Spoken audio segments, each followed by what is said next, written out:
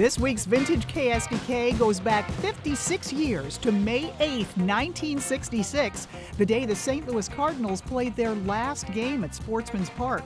Here's Mike Shannon, the famous former Cardinal, describing that time in his own words as part of our 40th anniversary celebration back in 1987. The year is 1966, and St. Louis is celebrating its bicentennial and saying goodbye to an old friend. The St. Louis Cardinals play their last game in Sportsman's Park on Sunday, May the 8th.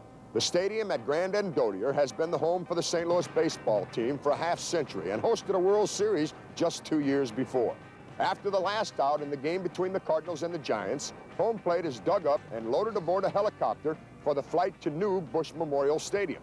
St. Louisans follow the city's bicentennial parade through the streets of downtown. Then on Thursday, May the 12th, the first game in Busch, the Cards versus the Atlanta Braves. I'm Mike Shannon.